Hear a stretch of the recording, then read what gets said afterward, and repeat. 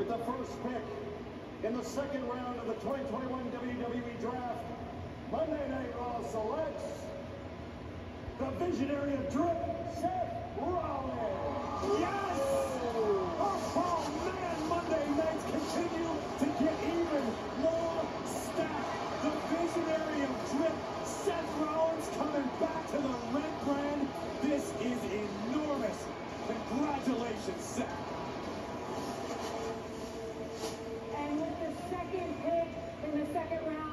the WWE Draft, Friday Night SmackDown selects the Intercontinental Champion, King Nakamura, and the eccentric Rick Rude.